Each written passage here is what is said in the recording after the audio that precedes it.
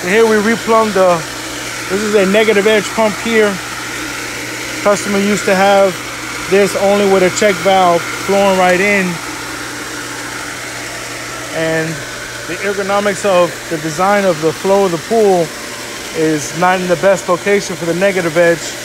So this pool here pump is like a two and a half horsepower. I believe it is. Uh, it would empty the tank and the tank is only about, I would say five feet, maybe six feet long, two feet wide by uh, two and a half feet deep.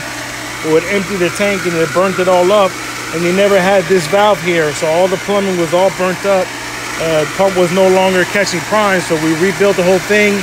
New check valve, new flow regulating valve, uh, new tailpipes. We plumbed it all up in here.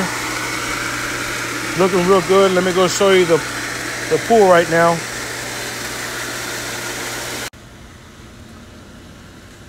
So this is the client's pool. And in my opinion, the design location. The design element of where the returns are probably not the most favorable area for the spillover effect.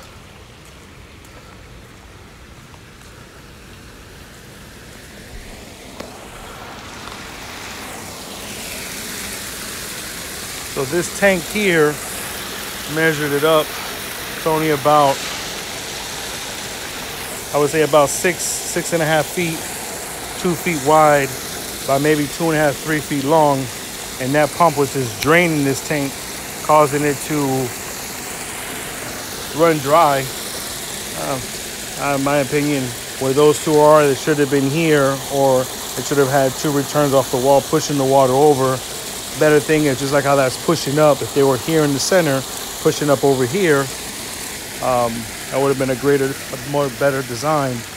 But nevertheless, we got it working super well and the spillover is looking good.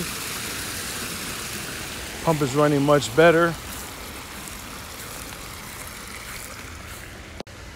So you guys let me know if you're in need of any plumbing for your swimming pool, someone to come out and evaluate it and make it better so it functions better so you have less repairs and less maintenance done on your swimming pool.